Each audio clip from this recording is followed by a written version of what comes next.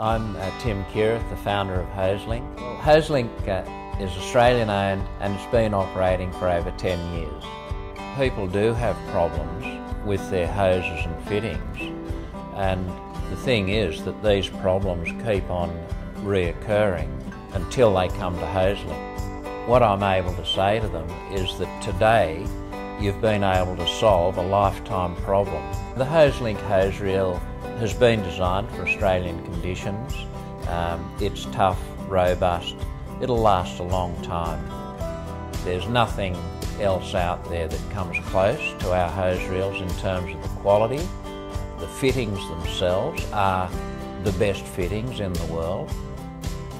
If people have any doubt about whether a Hoselink Auto Reel is the right choice, they only need to look at the thousands of customer reviews on our website.